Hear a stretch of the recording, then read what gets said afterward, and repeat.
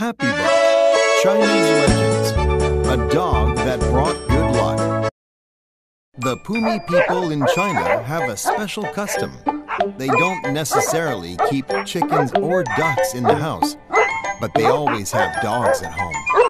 A long time ago, a rich Pumi man had seven children.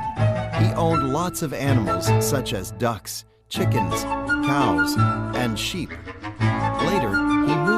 of the village and built a big farmhouse next to a forest. He noticed that there were some chickens or cows missing every day.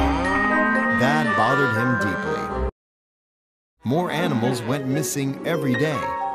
A few months later, his servants started disappearing one by 不到几年，全家就只剩下小儿子和一只黑狗，还有几头牛。 白天，小儿子去放牧，天一黑就赶紧回家。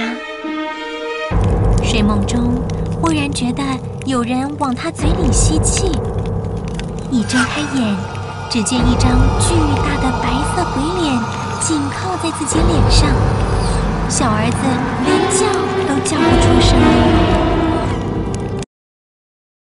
危急中，突然听到一声狗叫，着黑狗撞破纸窗，用力咬住鬼脸。